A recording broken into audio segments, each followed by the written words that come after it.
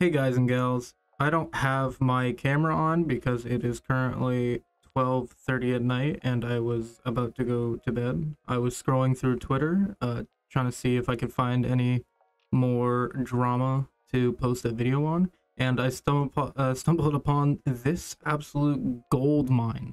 Uh, we have this user Ray uh, post this: "The world if men didn't exist."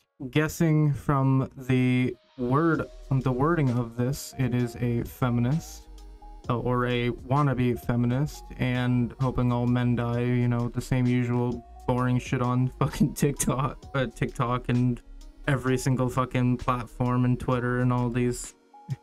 Sorry, it's I'm fucking tired.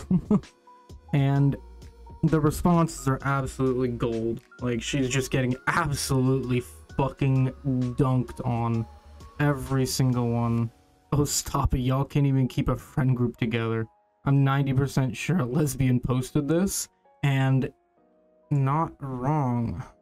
And I, I just wanted to show you guys this because it is absolutely fucking hilarious. I don't understand why adult children are always on gender wars and shit like this, but when people post this shit, I don't know why it's always women that do it more like more often about wanting the other gender to die, but it is fucking laughable how almost the entirety of, like of the internet just come forth and just absolutely shit on people like this.